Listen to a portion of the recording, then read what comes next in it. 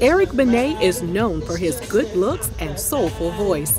Behind the scenes, he's a doting husband and father. But his journey to finding his perfect match hasn't been easy. Don't forget, you can gain access to this audio and one unreleased super messy video per month on the RRG Patreon. Details are down below in the description box. Now, let's get into how Eric went from being heartbroken to ending a disastrous marriage to finally finding true love. In December 1991, Eric's girlfriend, Tami Marie Stauff, gave birth to their daughter, India. Eric and Tami broke up sometime later. They settled into their roles as co parents in Milwaukee, Wisconsin, and Eric would make time to see his daughter every weekend.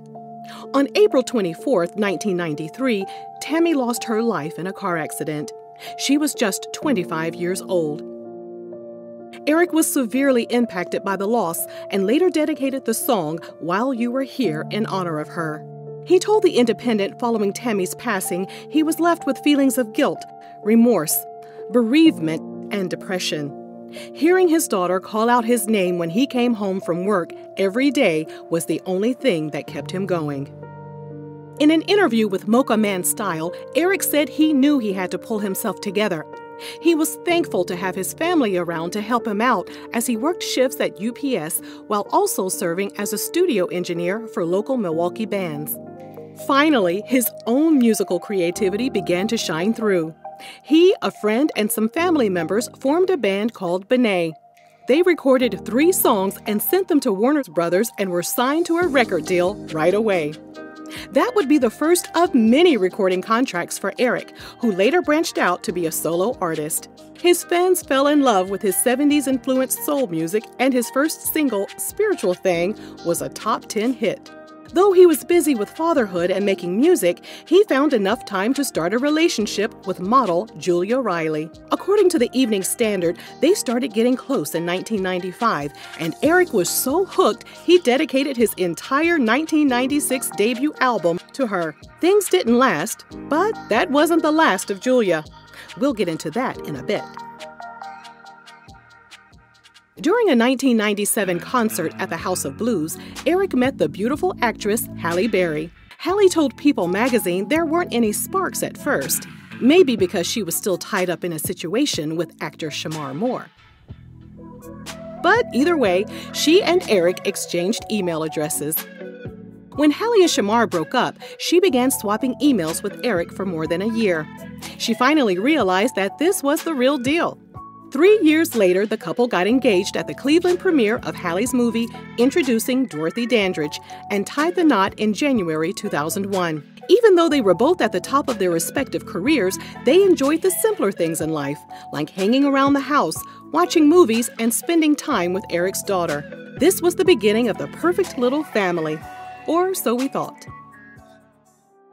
A year into their marriage, Eric spent two days with his ex girlfriend, Julia Riley. How do we know? Because the Daily Mail claimed there were photographs of him leaving Julia's Milwaukee apartment. And where was Halle during all of this?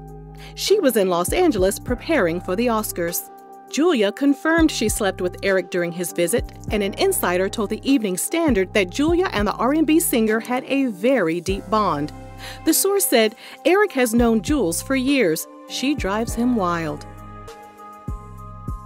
The insider added that Eric felt he was constantly in Halle's shadow, and Julie was there for him when Halle wasn't.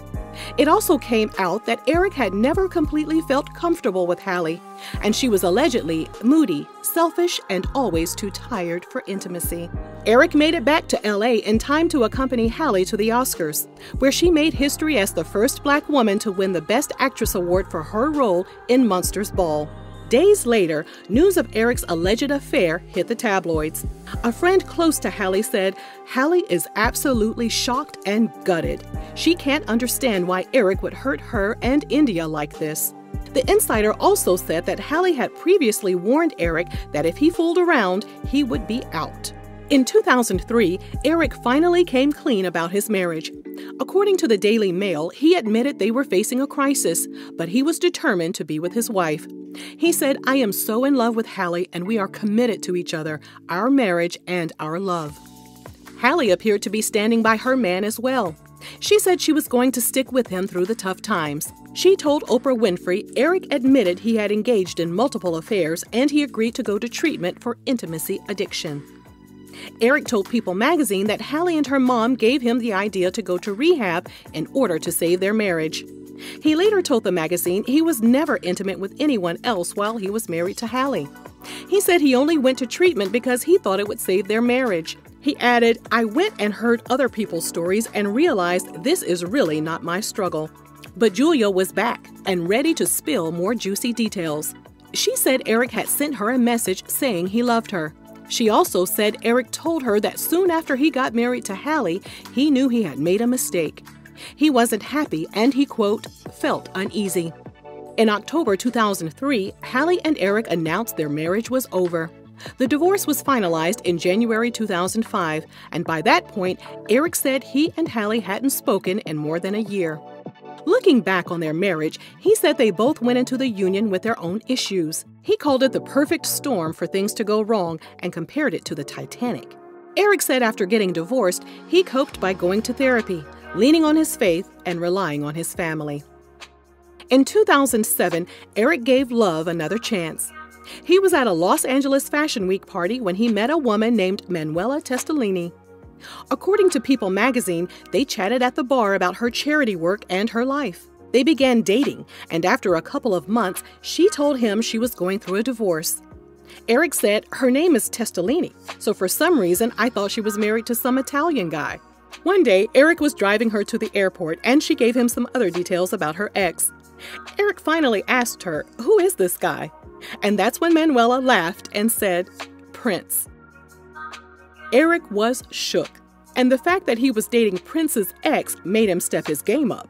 He said normally he would invite the women he was dating to hang out with him at the studio, but he knew Manuela wouldn't be impressed with his tiny little studio. None of that even mattered to Manuela.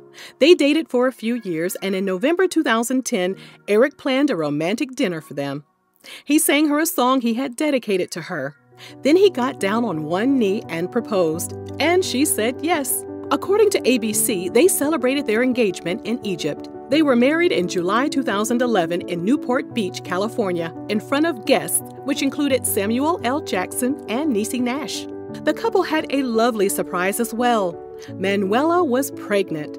She gave birth to their baby girl, Lucia Bella, in December 2011. They welcomed their second daughter, Amora Luna, in July 2014, right before their third wedding anniversary.